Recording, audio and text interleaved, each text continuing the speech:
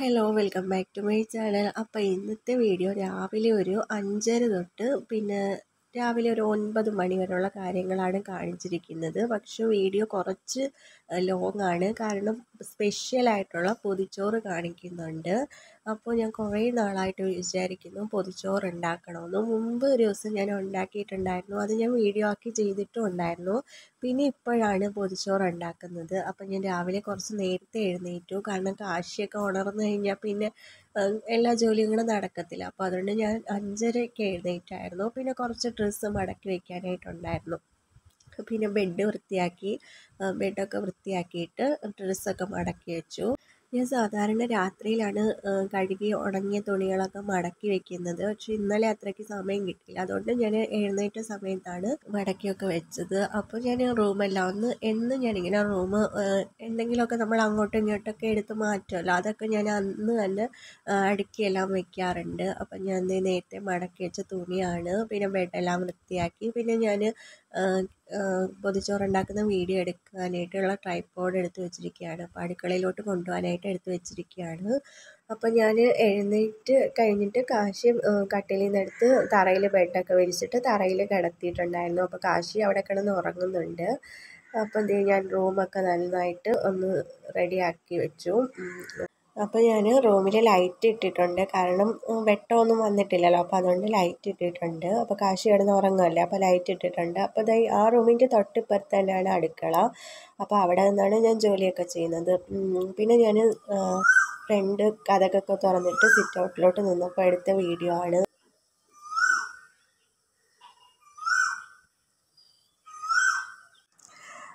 പിന്നെ ഞാൻ അടുക്കളയിലോട്ട് ചെന്ന് ലൈറ്റൊക്കെ ഇട്ടതാണ്. അപ്പോൾ അമ്മ എന്നും രാത്രി അടുക്കളയൊക്കെ നന്നായിട്ട് വൃത്തിയാക്കിയിടും അപ്പോൾ പിറ്റേന്ന് നമ്മൾ അടുക്കളയിലോട്ട് വരുമ്പം ജോലിയൊക്കെ ചെയ്യാനായിട്ട് നല്ല ഒരു ഇതാണ്. അപ്പം നമ്മൾ വൃത്തിയാക്കി ഇടുകയാണെങ്കിൽ ജോലിയൊക്കെ ചെയ്യാൻ നല്ല ഒരു എന്താ പറയുക ഒരു മടുപ്പ് ഒന്നും കാണത്തില്ല.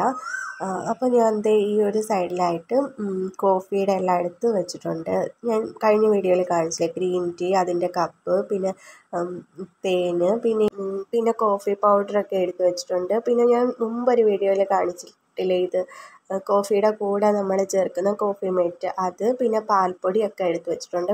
അപ്പോൾ അതെല്ലാം ഞാൻ ഈ ഒരു സൈഡിലാണ് എടുത്ത് വെച്ചിരിക്കുന്നത്. പിന്നെ ഇത് ഇപ്പുറത്തായിട്ട് കാശിയുടെ കുറുക്കിന്റെ ഐറ്റംസ് ഒക്കെയാണ്. എന്താ ഈ അമൃതം പൊടി അമൃതം പൊടി അംഗൻവാടിയിൽ നിന്ന് കിട്ടില്ലേ? അത് അമൃതം പൊടി പിന്നെ ഇത് പനങ്കൽക്കണ്ടാണ്. കുറുക്കിൽ മധുരത്തിന് ചേർത്ത് കൊടുക്കുന്ന പനങ്കൽക്കണ്ട്. പിന്നെ ഈ കൂരവ് തൊലിയോട് ഉള്ള മുഴുവനെയുള്ള കൂരവില്ലേ? അത് അത് തീരാറായിട്ടുണ്ട്. ഇനി വാങ്ങണം. പിന്നെ അല്ലാതെ പൊടിച്ച പൂരമൊക്കെ ഇരിപ്പുണ്ട് അപ്പോൾ അതെല്ലാം ഞാൻ ഒരുമിച്ചാണ് എടുത്ത് വെച്ചിരിക്കുന്നത്. പിന്നെ ഇപ്പുറത്തായിട്ട് ഈ പലചരക്ക് സാധനങ്ങളൊക്കെ എടുത്ത് വെച്ചിരിക്കുകയാണ്. അടുക്കിയൊക്കെ വെച്ചിരിക്കുകയാണ്. അപ്പോൾ ഞാനിന്ന് പൊതിച്ചോറ് ഉണ്ടാക്കുന്ന കറികളെന്ന് വെച്ചാൽ സോയാബീൻ ഫ്രൈ ചെയ്യുന്നുണ്ട്. അപ്പോൾ ഞാൻ മുമ്പൊരു വീഡിയോയിൽ സോയാബീന്റെ ഫ്രൈ കാണിക്കാമെന്ന് പറഞ്ഞില്ലേ? അപ്പോൾ അതുകൊണ്ട് സോയാബീൻ ഫ്രൈ ചെയ്യാമെന്ന് വിചാരിച്ചു. പിന്നെ മുട്ട പൊരിക്കുന്നുണ്ട്. പിന്നെ കൊഞ്ച് ഉണക്ക കൊഞ്ചില്ലേ? ഉണക്ക കൊഞ്ചിട്ട് ചമ്മന്തി ഉണ്ടാക്കുന്നുണ്ട്. പിന്നെ ഒരു ചീര വെച്ചിട്ടുള്ള തോരനും. അപ്പോൾ അത്രയും നാല് കറികൾ മാത്രമേ ഉള്ളൂ. അപ്പോൾ ഇതിന്റെ പ്രത്യേകതയെന്ന് വെച്ചാൽ ഈ പൊതിച്ചോറിന്റെ പ്രത്യേകതയെന്ന് വെച്ചാൽ ഇതിൽ മീനും ഇറച്ചിയും പിന്നെ പച്ചക്കറിയും ഒന്നും ഇല്ലാത്ത കറികളാണ് ഇതിൽ ആക്കിയേക്കുന്നത്. അപ്പോൾ അതാണ് ഇതിന്റെ സ്പെഷ്യാലിറ്റി. അപ്പോൾ ഇത് ഈ ഒരു ചീരയാണ് നമ്മൾ ഇത് ചീരത്തോരൻ ഉണ്ടാക്കാനായിട്ട് എടുക്കുന്നത്. ഇതിന്റെ പേര് കറക്റ്റായിട്ട് എനിക്കറിയത്തില്ല. പക്ഷേ ഇത് നല്ല ടേസ്റ്റാണ്. തോരൻ വയ്ക്കുമ്പോഴത്തേക്ക് നല്ല ടേസ്റ്റാണ്. ഇത് ഷുഗറുകാർക്കൊക്കെ നമ്മൾ ഷുഗറുകാർക്കൊക്കെ കഴിച്ചാൽ നല്ല നല്ലതാണെന്ന് ഇങ്ങനെ കേട്ടു. അപ്പോൾ ഷുഗർ ചീര എന്നാണ് ഞങ്ങൾ പറയുന്നത്. പക്ഷേ എന്താ കറക്റ്റ് പേരൊന്നും എനിക്ക് അറിയത്തില്ല. പിന്നെ അതേ ഞാൻ കോഫി ഉണ്ടാക്കുന്നുണ്ട്. അപ്പോൾ ഞാൻ ഒരു കപ്പ് കോഫിയാണ് ഉണ്ടാക്കുന്നത്. അപ്പോൾ ഒരു കപ്പ് വെള്ളം എടുത്തിട്ടുണ്ട്. അപ്പോൾ ഈ ഒരു പാത്രത്തിലോട്ട് ഒഴിച്ചു കൊടുക്കുന്നുണ്ട്. അപ്പോൾ അതിലേക്ക് ആവശ്യത്തിന് പാൽപ്പൊടി ഇട്ട് കൊടുത്തിട്ട് നമ്മൾ നന്നായിട്ട് മിക്സ് ചെയ്ത് തിളപ്പിച്ചെടുക്കുകയാണ് ചെയ്യുന്നത്. അപ്പോൾ ആ ഒരു സമയത്ത് കപ്പിലേക്ക് കോഫി പൗഡറും പിന്നെ പഞ്ചസാരയും കോഫി മേറ്റും ഒക്കെ ഇട്ട് കൊടുക്കുന്നുണ്ട്. കോഫി മേറ്റ് ഈ കോഫിക്ക് ഒരു കുറുകലും ഒക്കെ കിട്ടാനായിട്ട് ഒരു തിക്കായിട്ട് ഇരിക്കാൻ വേണ്ടിയിട്ടാണ് നമ്മൾ കോഫി മേറ്റ് ചേർക്കുന്നത്. അതിനും സെയിം പാൽപ്പൊടിയുടെ അതേ ഒരു ടേസ്റ്റ് തന്നെയാണ്. അപ്പോൾ അത് ഞാൻ ഇട്ട് കൊടുക്കുന്നുണ്ട്. അപ്പോൾ കോഫി പൗഡർ ഇട്ട് കൊടുത്തിട്ടുണ്ട്. ഇനി ഇടുന്നത് കോഫി മേറ്റും പഞ്ചസാരയുമാണ് അപ്പോൾ നമ്മൾ എനിക്കിങ്ങനെ കോഫി ഉണ്ടാക്കുമ്പോൾ നല്ല എന്താ പറയുക നല്ല പതഞ്ഞിങ്ങനെ ഇരിക്കണം. അതാണ് ഏറ്റവും ഇഷ്ടം. അല്ലാതെ എനിക്ക് പതയൊന്നും ഇല്ലാതെ ഇങ്ങനെ ഇരിക്കുന്നത് അത്ര ഇഷ്ടമല്ല. അപ്പോൾ നമ്മൾ ഈ പാൽപ്പൊടി പാൽ വെച്ചിട്ടല്ല പാൽപ്പൊടി വെച്ചിട്ടാണ് നമ്മൾ കോഫി ഉണ്ടാക്കുന്നതെങ്കിൽ ഈ പാൽപ്പൊടി വെള്ളത്തിൽ മിക്സ് ചെയ്ത് പാൽ പോലെ തിളപ്പിച്ച് തന്നെ എടുത്തിട്ട് കോഫി ഉണ്ടാക്കണം. ഞാൻ മുമ്പൊക്കെ വീഡിയോസിൽ ഈ പാൽപ്പൊടിയും കോഫി പൗഡറും പിന്നെ പഞ്ചസാരയൊക്കെ കപ്പിലോട്ട് ഇട്ടിട്ട് ചൂടുവെള്ളം ഒഴിച്ച് കോഫി ഉണ്ടാക്കിയിട്ടുണ്ട്. പക്ഷെ അത് അതിന്റെ പ്രശ്നമെന്ന് വെച്ചാൽ അന്നേരം പതഞ്ഞു വരത്തില്ല. ആ ഒരു നമ്മൾ ഒഴിക്കുമ്പോഴത്തേക്ക് ആ പതയൊക്കെ മാറി ഒരു വല്ലാത്ത ഇങ്ങനെ വെള്ളം പോലെ ആയി കിടക്കും. അപ്പോൾ അതുണ്ടാകാതിരിക്കും നമ്മൾ ഇതേപോലെ പാൽപ്പൊടി എടുത്ത് പാൽ പോലെ തിളപ്പിച്ച് തന്നെ എടുത്ത് കോഫി ഉണ്ടാക്കിയാലേ നല്ല ഇതേപോലെ നല്ല പെർഫെക്റ്റ് ആയിട്ട് കിട്ടത്തുള്ളൂ.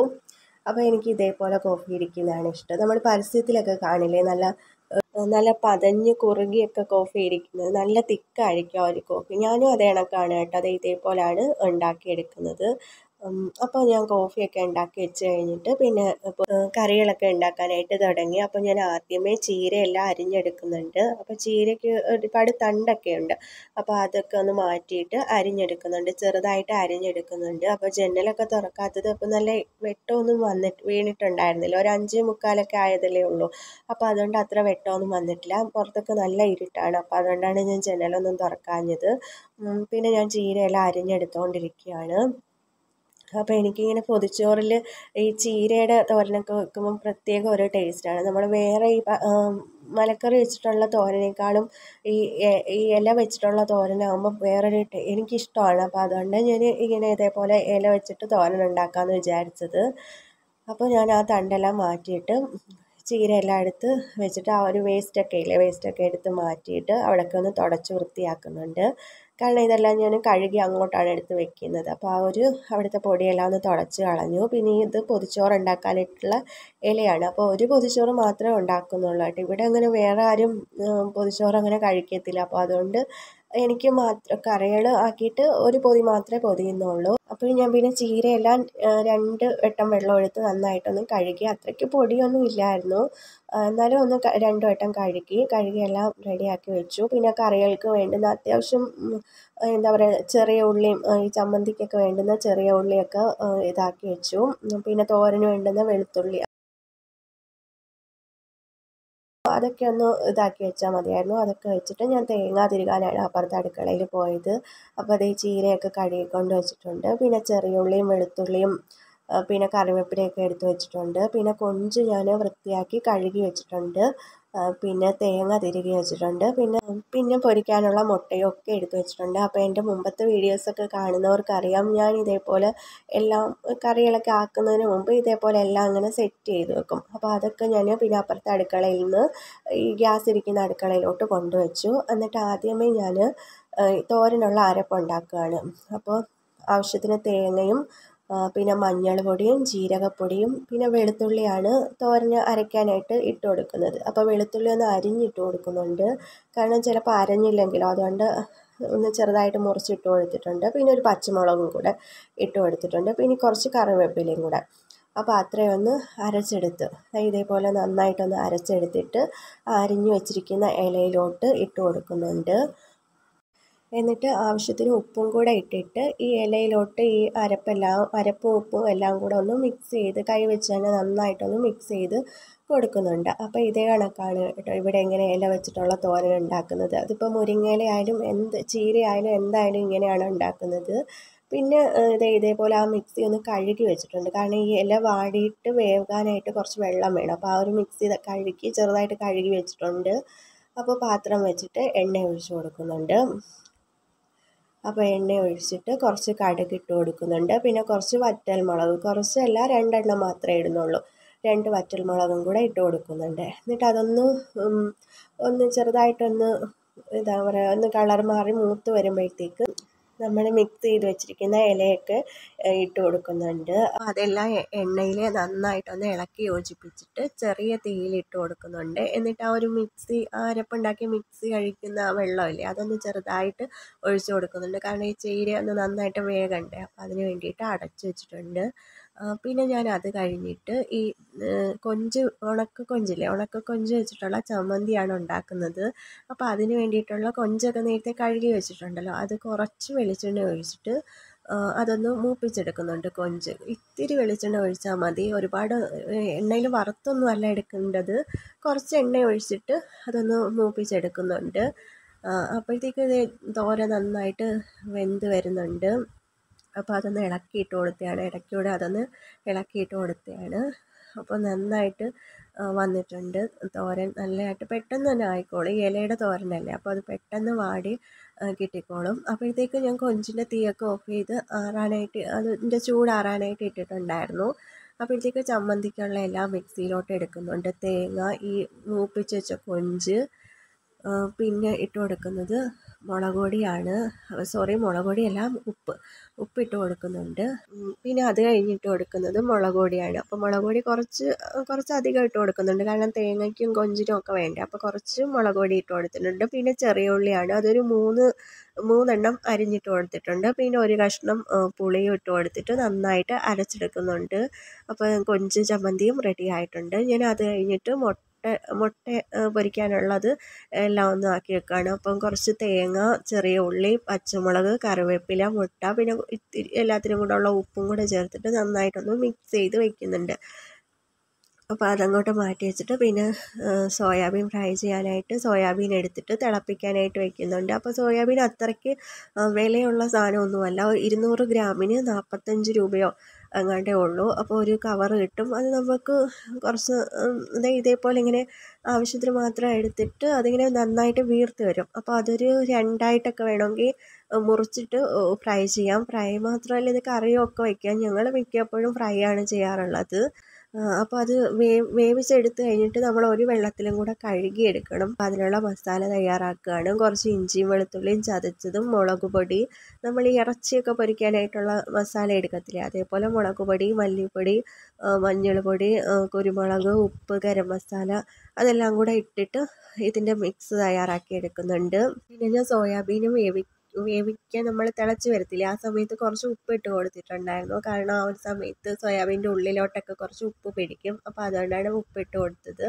അപ്പോൾ ദേ അത് സോയാബീന് നന്നായിട്ട് ദേ ഇതേപോലെ ഇങ്ങനെ വരും. അതൊന്നും കൂടെ ഒരു വെള്ളത്തിലും കൂടെ ഒന്ന് കഴുകിയെടുക്കണം. അപ്പോഴതിന്റെ ആ ഒരു വേറൊരു ടേസ്റ്റ് ഉണ്ട്. അതിനൊരു പ്രത്യേക ആ ഒരു ചെവ. അപ്പോൾ അത് മാറണമെങ്കിൽ ഒരു വെള്ളത്തിലും കൂടെ കഴുകി എടുത്തിട്ട് ഇങ്ങനെ ഞാനിത് ഇതിപ്പോൾ കുറച്ച് വലിയ സോയാബീനാണ് അപ്പോൾ അതുകൊണ്ടൊന്ന് രണ്ടായിട്ട് മുറിച്ചാണ് എടുക്കുന്നത്. എടുത്തിട്ട് ആ ഒരു നന്നായിട്ട് കൈവച്ചാലൊന്ന് ഒന്ന് മിക്സ് ചെയ്ത് കൊടുക്കുന്നുണ്ട്. അപ്പോൾ ഇത് പിന്നെ ഫ്രൈ ചെയ്തെടുക്കാം നമുക്ക്. ഇതേപോലെ മിക്സ് ആക്കി എടുത്തിട്ടുണ്ട്. അപ്പോൾ ഞാൻ അത് കഴിഞ്ഞിട്ട് സോയാബീൻ വറുക്കാനായിട്ടുള്ള വറുക്ക് വറുക്കാനായിട്ട് തുടങ്ങുകയാണ് അപ്പോൾ ഒരു പാനടുപ്പത്ത് വെച്ചിട്ട് വെളിച്ചെണ്ണയാണ് ഒഴിച്ച് കൊടുക്കുന്നത്. അപ്പോൾ ഇന്ന് കറി ഉണ്ടാക്കാൻ എല്ലാം വെളിച്ചെണ്ണയാണ് ചേർത്തത്. കാരണം ഈ പൊതിച്ചോറിൽ വെളിച്ചെണ്ണ നമ്മൾ കറികൾക്കൊക്കെ വെളിച്ചെണ്ണ ചേർക്കുകയാണെങ്കിൽ പ്രത്യേക ഒരു ടേസ്റ്റ് അല്ലേ? അപ്പോൾ അതുകൊണ്ട് വെളിച്ചെണ്ണയാണ് എടുത്തത്. അപ്പോൾ സോയാബീൻ എല്ലാം വറുക്കാനായിട്ട് ഇട്ടിട്ടുണ്ട്. അപ്പോൾ ഞാൻ നേരത്തെ കാണിച്ച കറിവേപ്പില കുറച്ച് അത്ര പച്ചയല്ലായിരുന്നു. അപ്പോൾ ഞാൻ പിന്നെ ഞങ്ങളുടെ അയ്യത്ത് നിന്ന് പോയിട്ട് കുറച്ച് കറിവേപ്പില പച്ചയായിട്ടുള്ള കറിവേപ്പില വറച്ചിട്ട് അതിന്റെ മുകളിലായിട്ട് ഈ സോയാബീന്റെ മുകളിലായിട്ട് ഇട്ട് കൊടുത്തിട്ടുണ്ട്. എന്നിട്ട് ഇടയ്ക്ക് ഇങ്ങനെ ഇതേപോലെ ഒന്ന് മിക്സ് ചെയ്ത് കൊടുക്കാം. അപ്പോൾ ആ ഒരു സമയത്ത് ഞാൻ പിന്നെ ഇപ്പുറത്ത് സോയാബീൻ ഇരുന്ന് വേകുന്നുണ്ടല്ലോ അപ്പോൾ അപ്പുറത്ത് അമ്മ അപ്പം ഉണ്ടാക്കുന്നുണ്ടായിരുന്നു. രാവിലെ അപ്പവും സാമ്പാറും ഒക്കെ ആയിരുന്നു കഴിക്കാനായിട്ട്. അപ്പോൾ അത് ഞാൻ വെന്തോന്ന് ഇങ്ങനെ നോക്കിയതാണ്. അപ്പോൾ സോയാബീൻ കിടന്ന് വേകുന്നുണ്ട്. അപ്പോൾ ആ ഒരു സമയത്ത് ഞാൻ മുട്ട പൊരിക്കാനായിട്ട് വെക്കുന്നുണ്ട്. അപ്പോൾ ചെറിയ പാനെടുത്ത് അടുപ്പത്ത് വെച്ചിട്ട് കുറച്ച് വെളിച്ചെണ്ണ ഒഴിച്ച് കൊടുത്തു. കുറച്ച് മാത്രം ഒഴിച്ച് കൊടുത്തിട്ട് മുട്ട പൊരിക്കാനായിട്ട് ഇട്ടിട്ടുണ്ട്. അപ്പോഴത്തേക്ക് ഇപ്പോൾ ഇത് അടുപ്പിൽ കിടന്ന് സോയാബീൻ നന്നായിട്ട് വെന്ത് വരുന്നുണ്ട്. ഫ്രൈ ആയിട്ട് വരുന്നുണ്ട്. പിന്നെ ഞാൻ മുട്ട തിരിച്ചിട്ടു. അപ്പോൾ ഒരുവിധം എല്ലാം റെഡി ആയിട്ടുണ്ട് കേട്ടോ. നാല് കറി മാത്രമല്ല നമ്മൾ പൊതിച്ചോറിലോട്ട് വെക്കുന്നുള്ളൂ. അപ്പോൾ അതെല്ലാം റെഡിയായി തോരൻ റെഡിയായിട്ടുണ്ട് അപ്പോൾ ഇതിങ്ങനെ വെന്ത് കഴിയുമ്പോൾ മുരിങ്ങയിലയില്ലേ അത് കണക്ക് ഇങ്ങനെ ഇരിക്കും. അപ്പോൾ അത് റെഡി ആയിട്ടുണ്ട്. പിന്നെ ഉണക്ക് കൊഞ്ചിട്ട് വെച്ച് അരച്ച ചമ്മന്തി അതിങ്ങനെ റെഡിയാക്കി വെച്ചിട്ടുണ്ട്. പിന്നെ മുട്ട പൊരിച്ച് വെച്ചിട്ടുണ്ട്. പിന്നെ സോയാബീൻ ഫ്രൈ ആക്കി വെച്ചിട്ടുണ്ട്. അപ്പോൾ ഞാൻ നേരത്തെ പറഞ്ഞ കണക്ക് ഈ പൊതിച്ചോറിന്റെ പ്രത്യേകത എന്ന് വെച്ചാൽ ഇതിൽ ഇറച്ചിയില്ല മീനില്ല പച്ചക്കറി ഒന്നും എടുത്തിട്ടില്ല. ബാക്കി അല്ലാത്ത ഐറ്റംസ് വെച്ചിട്ടാണ് ഈ ഒരു എന്താ പൊതിച്ചോറ് ആക്കി എടുത്ത് പൊതിച്ചോറിനുള്ള കറിയെല്ലാം ആക്കി എടുത്തത്. അപ്പോൾ ഇലയിലോട്ട് ചൂട് ചോറിട്ട് കൊടുക്കുന്നുണ്ട്. അപ്പോൾ ചോറ് വെച്ചത് അമ്മയാണ് കേട്ടോ. അമ്മയാണ് ചോറുണ്ടാക്കിയത്. അപ്പോൾ ചോറിലേക്ക് ഇതേ മുട്ട പൊരിച്ചത് സോയാബീൻ ഫ്രൈ ചമ്മന്തി പിന്നെ തോരൻ എല്ലാം വെച്ച് കൊടുത്തിട്ടുണ്ട്. പിന്നെ അമ്മയാണ് ഈ പൊതി പൊതിഞ്ഞ് തന്നത് അമ്മയാണ് കേട്ടോ. കാരണം എനിക്ക് ഒതുക്കി ഇങ്ങനെ ചെറിയ പൊതിയാക്കി പൊതിയാൻ അറിയത്തില്ല. അപ്പോൾ അതുകൊണ്ട് അമ്മയാണ് പൊതിഞ്ഞൊക്കെ തന്നത്. അപ്പോൾ ജനലിൽ നിന്ന് നല്ല വെയിലടിക്കുന്നുണ്ട്. അപ്പോൾ അതേ പൊതിഞ്ഞ് റെഡിയാക്കി വെച്ചിട്ടുണ്ട്. പിന്നെ ഞാനിത് കഴിച്ചത് ഒരു ഉച്ചയ്ക്ക് രാവിലെ ഒൻപത് മണിക്ക് ഒൻപത് മണിക്കല്ല ഒരു എട്ടര ആയപ്പോഴത്തേക്ക് പൊതിച്ചോറ് റെഡിയായി പിന്നെ ഞാനൊരു പന്ത്രണ്ടര ആ ഒരു സമയത്താണ് എടുത്ത് കഴിച്ചത്. നല്ല ടേസ്റ്റ് ആയിരുന്നു. പിന്നെ ഞാൻ അത് കഴിഞ്ഞിട്ട് കാശിക്ക് കുറുക്ക് കുറുക്കുണ്ടാക്കുന്നുണ്ട് അപ്പോൾ ഇന്ന് തൊലിയോടെയുള്ള കൂരമില്ലേ പൊടിച്ചത്. അപ്പോൾ ആ പൊടി വെച്ചിട്ടാണ് കുറുക്ക് ഉണ്ടാക്കുന്നത്. ഞാൻ സാധാരണ പാൽ തിളപ്പിക്കാനായിട്ട് വെച്ചിട്ട് പിന്നെ ഈ ഒരു ഇത് വെള്ളത്തിൽ കലക്കി ഈ പൊടി ഒഴിക്കുകയാണ് ചെയ്യുന്നത്. പക്ഷേ ഇന്ന് ഞാൻ എല്ലാം കൂടെ മിക്സ് ചെയ്തിട്ട് പാലും വെള്ളവും പൊടിയും എല്ലാം കൂടെ മിക്സ് ചെയ്ത് അടുപ്പത്ത് വെച്ച് തിളപ്പിക്കാനായിട്ട് വെച്ചിട്ടുണ്ട്. പിന്നെ അതിലേക്ക് മധുരത്തിന് പനങ്കൽക്കണ്ട് ഇട്ട് കൊടുക്കുന്നുണ്ട്. അപ്പോൾ കാശിക്ക് കുറുക്കുണ്ടാക്കാനായിട്ട് പശുവും പാൽ തന്നെയാണ് എടുക്കുന്നത്. ഞാൻ പിന്നെ കോഫി ഉണ്ടാക്കാനായിട്ട് പാൽപ്പൊടി എടുക്കുന്നു എന്ന് വിചാരിച്ചിട്ട് കാശിക്ക് പാൽ വെച്ചിട്ട് തന്നെയാണ് കുറുക്കുണ്ടാക്കുന്നത് അപ്പോൾ അതേ കുറുക്ക് നന്നായിട്ട് തിളച്ച് വരുന്നുണ്ട്. നമ്മൾ കോഫിയൊക്കെ ഉണ്ടാക്കുമ്പോൾ പാൽപ്പൊടി എടുത്തിട്ട് നന്നായിട്ട് പാൽ പോലെ തന്നെ അത് തിളപ്പിച്ചെടുക്കുകയാണെങ്കിൽ ആ ഒരു പാൽപ്പൊടിയുടെ ചെവയൊന്നും ഉണ്ടായിരിക്കില്ല. നല്ല ടേസ്റ്റ് ആയിട്ടാണ് കോഫി ഉണ്ടാക്കി കിട്ടും. അപ്പോൾ ഇത് ഈ കാശിക്കുള്ള കുറുക്കെടുത്ത് ചൂടാറാനായിട്ട് വെച്ചിട്ടുണ്ട്. അപ്പോൾ പൊതിച്ചോറൊക്കെ ഉണ്ടാക്കുന്നത് കൊണ്ട് മെയിനായിട്ട് അതിന്റെ കാര്യങ്ങൾ ഇട്ടതുകൊണ്ട് വീഡിയോ കുറച്ച് ലെങ്തി ആയിപ്പോയി. അതുകൊണ്ട് പിന്നെ രാവിലത്തെ വേറെ കാര്യങ്ങളൊന്നും ഉൾപ്പെടുത്തിയിട്ടില്ല. പിന്നെ ഞാനൊരു പന്ത്രണ്ടരയൊക്കെ ആയപ്പോഴത്തേക്ക് ചോറ് കഴിച്ച സമയത്ത് ജസ്റ്റ് ആ പൊതിച്ചോറ് ഒന്ന് തുറക്കുന്ന വീഡിയോയും കൂടെ എടുത്തതാണ്.